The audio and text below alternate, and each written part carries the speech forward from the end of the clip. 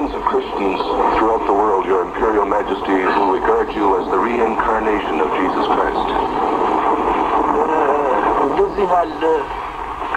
I had heard of that idea. I also met certain Rastafarians. I told them clearly that I am a man, that I am mortal, and that I will be replaced by the oncoming generation, and that they should never make a mistake in assuming or pretending that the human being is emanated from a deity.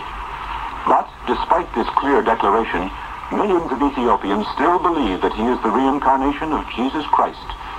Others at least proclaim him the defender of their faith and the symbol of their power. They always sing to him songs of praise.